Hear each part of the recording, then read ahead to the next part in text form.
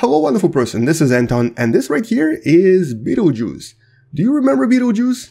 Do you remember how people were talking about it possibly exploding and we even detected unusual gravitational waves coming from the region? Well, as you can probably guess, it didn't explode. Let's talk about what happened and what's happening to it now. Welcome to What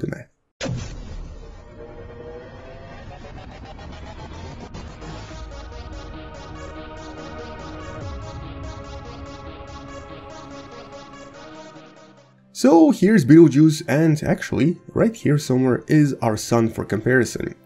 Betelgeuse, as you probably know by now, did not do anything special, except for scientists. For scientists, it mattered to achieve the lowest dimness ever observed. It actually has never been so dim pretty much ever. And the thing is, we've analyzed this dimness very thoroughly and we now have pretty clear reasons to believe that it wasn't the star itself that was dimming, it was something in its vicinity. And even though a lot of people did expect some sort of fireworks or some sort of a light show that would be produced if the star went supernova, as I mentioned in some of the previous videos, none of the scientists really expected the star to go supernova. It was a little bit too early, and one study even suggested that it was probably way way too early. And mostly because of what we discovered inside Betelgeuse, which was quite surprising. You can find out more about this from one of the uh, videos that are going to be popping up somewhere above my head eventually.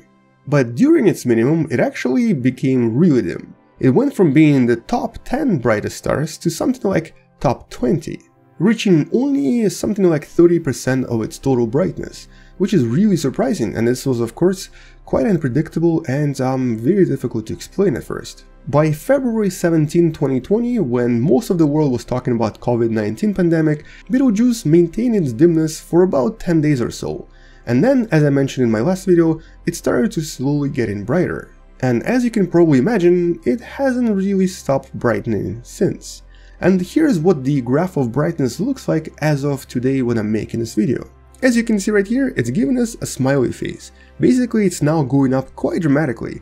This was the minimum, and this is what it was like in the last few weeks um, since then. As a matter of fact, it's been brightening by about 2% every single day since which is just to show us that it never really changes average brightness. Something else right here made it dip in brightness and created these unusual observations, especially right here in the southern part, that were observed in December of 2019. And that something is almost certainly a very very large dust cloud. And even though we have no idea where the gas cloud came from, we can only speculate it probably came from Betelgeuse itself, or possibly some of the planets that used to orbit Betelgeuse and either became disrupted by tidal forces or possibly fell apart for other reasons. Either way, this extremely large gas cloud very likely covered the southern part of Betelgeuse and essentially caused its brightness to drop so much that it appeared to be losing about 70% of the total light. Now all of this becomes even clearer when you actually measure the temperature of the light we received. Because normally, if a star starts losing its brightness, its temperature should also decrease and this should be quite apparent to us. But this didn't happen. The temperature of Betelgeuse was actually pretty much the same as it always was, suggesting that something else was actually basically just covering the southern part, allowing only sunlight to get through.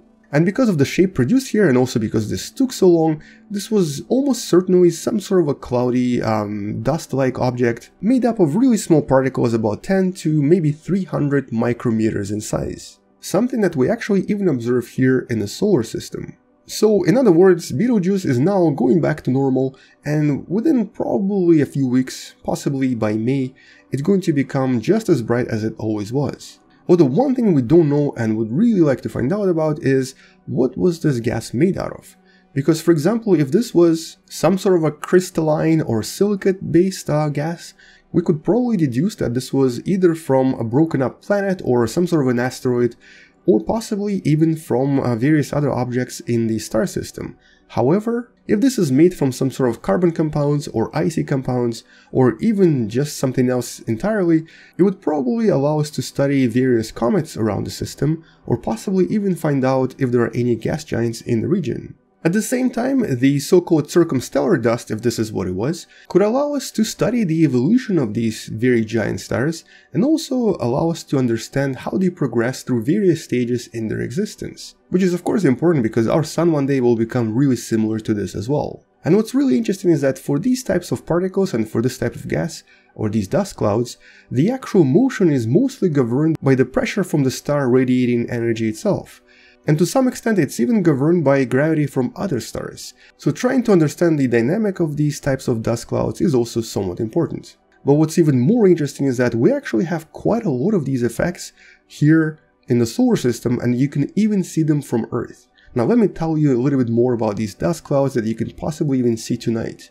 The phenomenon I'm referring to is known as zodiacal light. It's actually formed by dust clouds here in the solar system that are usually formed by either asteroids or essentially shredded asteroids or by comets that were broken up over time. Typically, it can only be seen in extremely dark conditions, but this is kind of what it would look like if you were to see it in the night skies somewhere uh, on the planet. It resembles this really unusual glow and it's basically created by the sun itself.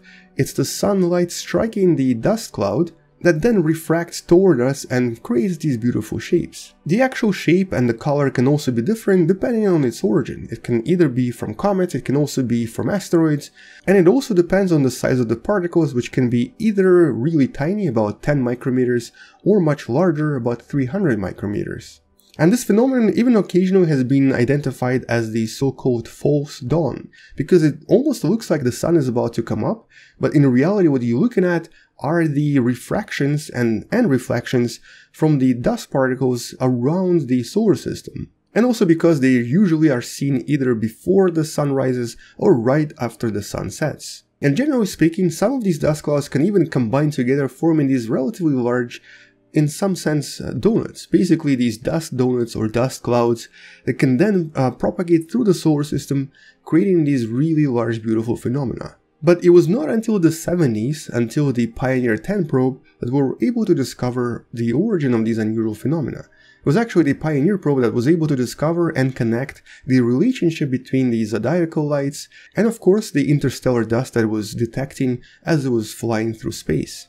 And so the scientists do believe that something very similar or very similar phenomenon was responsible for the Betelgeuse dimming as well, although possibly way way larger and way more massive, simply because Betelgeuse is dramatically larger than the Sun. So obviously a really large cloud needs to be in front of Betelgeuse for its brightness to go by 70%. But for now that's kind of all we know.